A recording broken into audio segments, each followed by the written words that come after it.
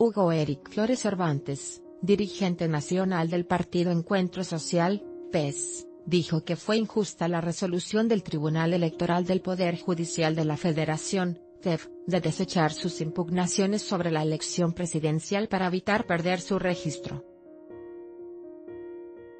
Es una de las más grandes injusticias que se ha cometido en la vida política de los partidos en la historia de nuestro país. Hugo Eric Flores Cervantes, dirigente nacional del Partido Encuentro Social, pese a sí mismo, Hugo Cervantes lamentó que los magistrados no investigaron a fondo los resultados de la elección.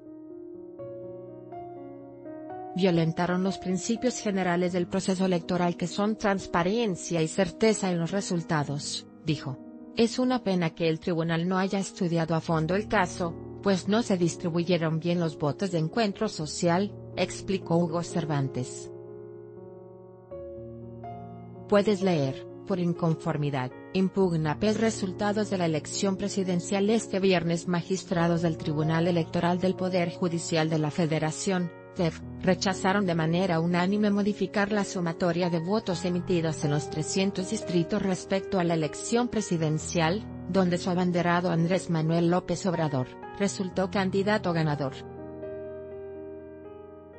Además, también desechó la pretensión del PES donde demandaba que no se considerara la votación emitida a favor del candidato independiente Jaime Rodríguez Calderón el Bronco, con el objetivo de que al eliminarse esos votos válidos hubiera su porcentaje de sufragios emitidos en la elección presidencial que fue de 2.70%.